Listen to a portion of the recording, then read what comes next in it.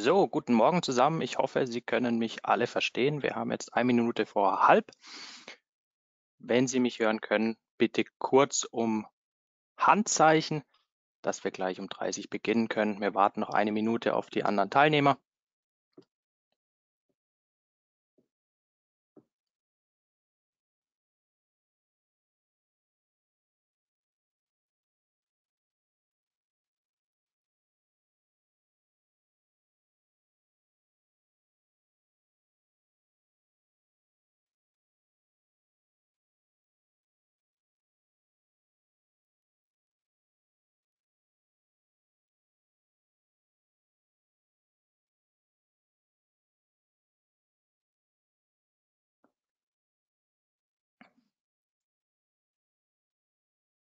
Gut.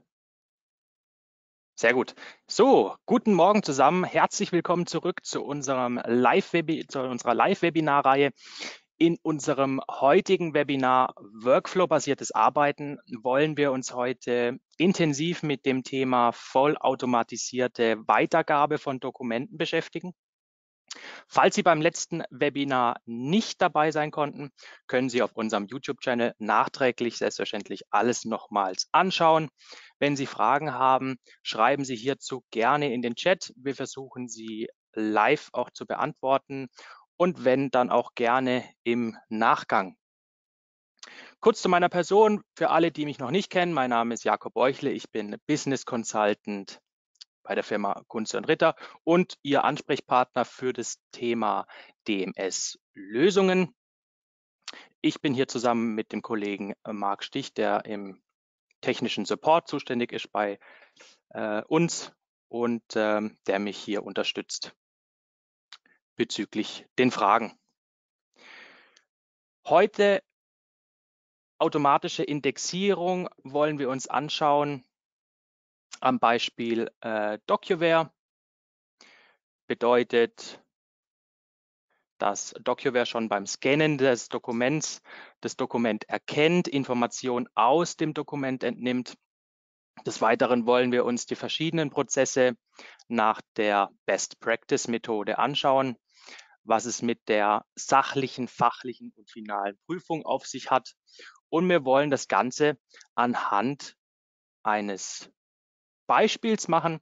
Unser Beispiel heute ist die Peggy Jenkins. Und wir gehen jetzt auch gleich rein in die Live-Demo von der Peggy Jenkins. Sehr gut. Wir befinden uns auf dem Desktop der Peggy Jenkins. Die Peggy Jenkins ist in der Buchhaltung tätig und arbeitet mit dem Programm von DocuWare. Wie wir hier schon sehen können, ich habe hier schon im Briefkorb nochmals Dokumente abgelegt. Für all diejenigen, wo die, wo die Oberfläche noch nicht ganz bekannt ist, schauen Sie da gerne auch nochmals nachträglich in unsere vergangenen Webinare rein. Hier zeigen wir auch nochmals, wie wir Dokumente grundsätzlich ins DocuWare reinbekommen. Genauso erklären wir hier auch nochmal, welche Schaltflächen für was zuständig sind. Ähm, wenn nicht, können Sie da auch gerne nochmal an uns wenden. Schauen wir uns aber jetzt das Workflow-basiertes Arbeiten an von der Peggy Jenkins. Wir haben hier verschiedene Dokumente gescannt und DocuWare hat hier aus den Dokumenten schon verschiedene Informationen entnommen.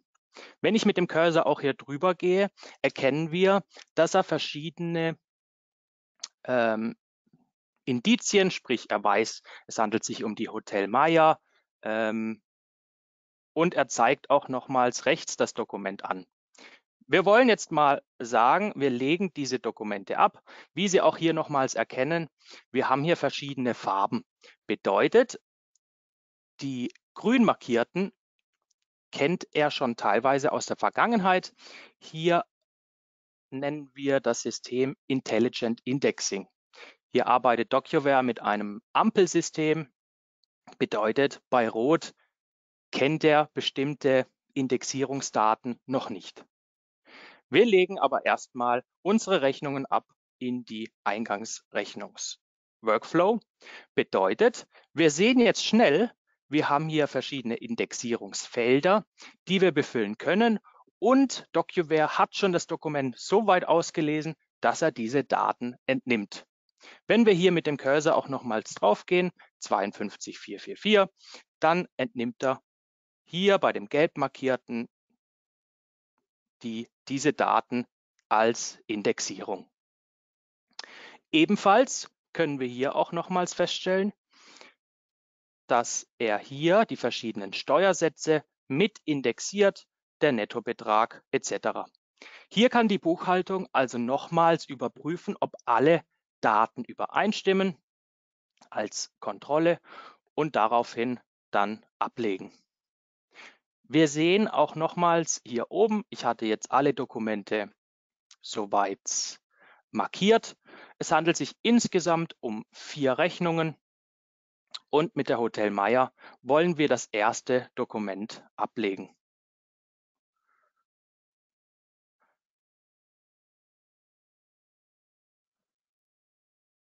Gut.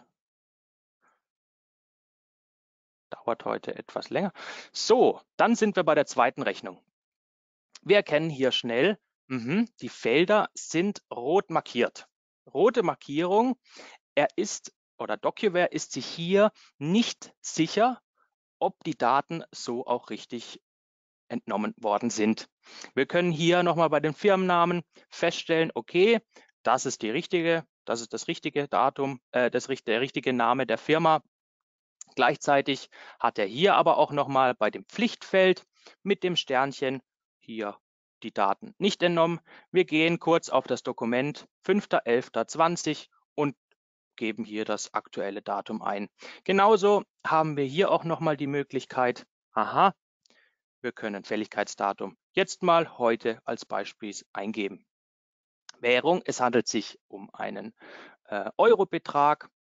Der Steuersatz ist 19 Prozent, der Nettobetrag 402 und er geht mir automatisch die unterschiedlichen Indexierungsfelder nach unten durch. Steuerbetrag ist 76,55 und wir können hier auch schnell erkennen, der Bruttobetrag stimmt hier nicht überein. Er nimmt die 9,50 Euro für diese Auftragserfassung. Er hätte aber eigentlich hier die 479,45 nehmen müssen. Wir gehen weiter an die Stahlwerke München, können hier eben auch nochmals die Daten überprüfen. Heute bei unserem Beispiel wollen wir das etwas schneller durchziehen. Selbstverständlich haben Sie hier die Möglichkeiten, die verschiedenen Rechnungen auch nochmals zu prüfen. Wir haben jetzt alle vier Dokumente abgelegt und wir stellen fest, dass bei der Peggy Jenkins jetzt soweit der Briefkorb leer ist. Ebenfalls sind jetzt die Dokumente gesetzeskonform in DocuWare abgelegt.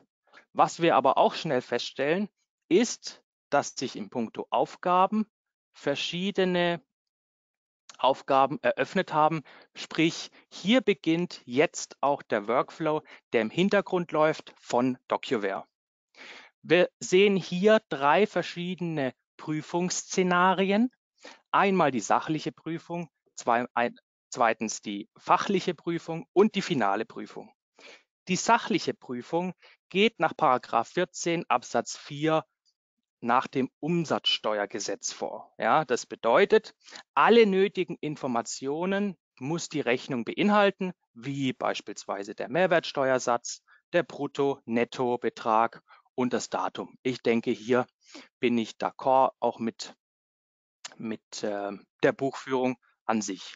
Schauen wir uns also an, was er jetzt hier bemängelt.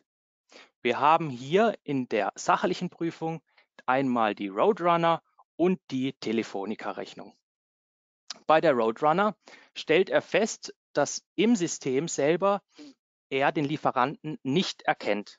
Wir erkennen das hier an Lieferanten prüfen und können hier im Dropdown-Menü auch nochmal sehen, aha, er erkennt den Lieferanten nicht, wir müssten ihn hier neu anlegen, beispielsweise durch DocuWare, durch ein weiteres Tool. Es würde sich dann ein weiterer Tab öffnen wo wir hier den Lieferanten anlegen können. Ebenfalls wie es bei Ihnen auch vielleicht laufen kann, die Schnittstelle zum Ihrem ERP-System und dass er daraus eben die Lieferantendaten entnimmt. Gehen wir zum zweiten Beispiel. Beim zweiten Beispiel handelt es sich hier um die Telefonica Helvetica. Wir sehen hier den Rechnungsbetrag 233. Aber was will DocuWare hier prüfen? Wir stellen schnell fest, er sagt, es handelt sich möglicherweise um eine Dublette. Wir können jetzt schnell feststellen, indem wir auf verknüpfte Dokumente gehen, uns nochmals den Rechnungsbetrag jetzt bei der Testversion anschauen oder auch die Rechnungsnummer überprüfen und gehen dann auf Dublette. Wir gehen auf das Dokument und stellen fest, aha, hier ist diese Rechnung schon einmal eingegangen. Also Achtung, hier kann es passieren, dass es zur doppelten Bezahlung kommt. Ja, deshalb, deshalb äh, orientiert sich hier DocuWare an verschiedenen Daten, sprich Datum, Inhalt der Rechnung, an dem Rechnungsbetrag etc. Wir stellen also fest, am 23.04. wurde diese Rechnung auch schon bezahlt. Wir können also sagen, bei der sachlichen Prüfung mögliche Dublette können wir Rechnung ablehnen. Grund, es handelt sich um eine Dublette. Stellen wir uns also vor, wie es bei Ihnen laufen kann. Sie bekommen eine Dublette oder eine Rechnung auch rein und stellen Sie sich hier wirklich ganz bewusst die Frage, gibt es überhaupt eine Dublettenprüfung? Oder haben Sie Geld zu verschenken? Gehen wir auch zum zweiten Schritt einmal zur fachlichen Prüfung. Die fachliche Prüfung bedeutet, das Dokument hat alle inhaltlichen Indexierungsdaten richtig, also ist, hat die sachliche Prüfung vollständig durchlaufen. Ähm, hier sind alle äh, wichtigen Daten oder Informationen vorhanden, wie Mehrwertsteuersatz, Brutto- oder Nettobetrag. Hier sagt er mir, bitte hier um Zuweisung oder Bestätigung, dass es sich hier äh, um, um eine Art Freigabe handelt. Wir schauen uns also hier nochmals die Rechnung von Hotel Meier an und stellen fest, aha, hier war zu Gast der Peter King. Wir sagen also hier, Besteller war hier der Peter King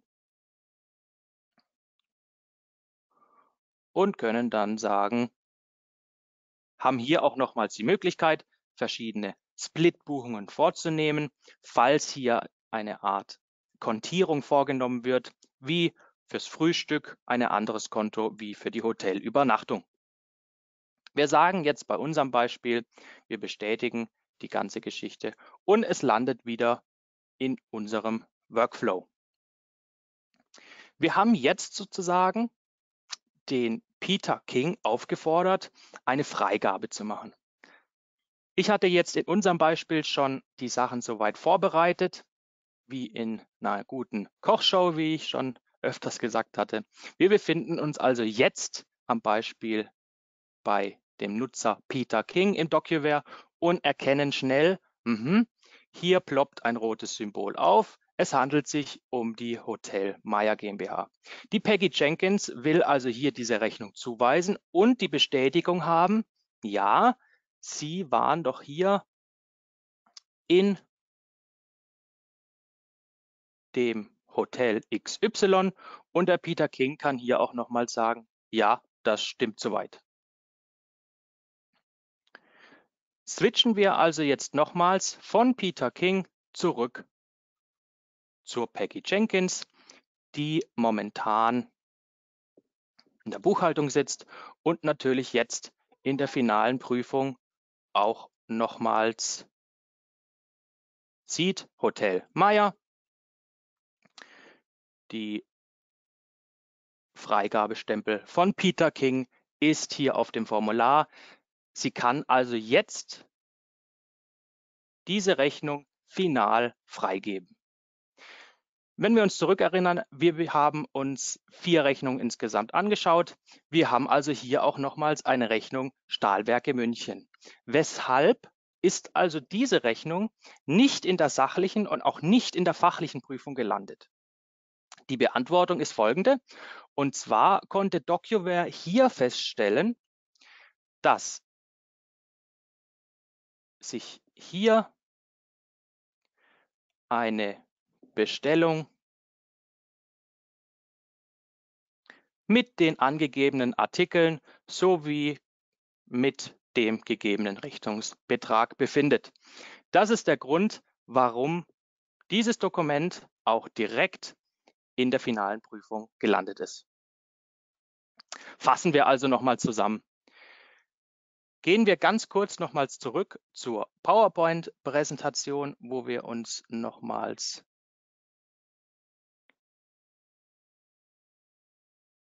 das genauer anschauen wollen und kurz zusammenfassen. Wir sind also den Rechnungsworkflow nochmals durchgegangen. Stellen Sie hier also nochmal wirklich an Sie selbst die Rückfrage, wie läuft es denn bei mir selbst ab? Haben wir eine Dublettenprüfung? Wie verläuft hier die Freigabe, falls der Verantwortliche vielleicht auch im Homeoffice sitzt und das normalerweise papierbasiert bei Ihnen läuft. Können wir wirklich so viel Zeit aufwenden und können hier vielleicht auch bestimmte Skontofristen nicht eingehalten werden? Hier auch nochmal eine interessante Statistik von Bilentis, hat hier eine Vollkostenrechnung für die Eingangsrechnung verglichen, einmal papierbasiert versus elektronisch. Das heißt Material, Lagerhaltungskosten, Energieaufwand, Arbeitszeit etc. Wenn man das alles zusammennimmt, kommt man am Ende bei der Papierrechnung auf rund 12 Euro, während eben die elektronische Rechnung gerade mal bei 50 Prozent liegt. Und nicht zu vergessen ist hier, es ist hier nur eine Seite betrachtet, bedeutet Rechnungsempfänger. Rechnen Sie das mal für Ihre Rechnungen auf, also 6 Euro mal die Anzahl Ihrer Eingangsrechnungen auf Papier. Dazu zählen also zusätzlich auch nochmal ähm, Ihre E-Mail-Rechnungen, die Sie generieren. Also wir stellen fest, dass dieser Prozess schon eine enorme Optimierung mit sich bringt, wenn das DMS eben stimmt.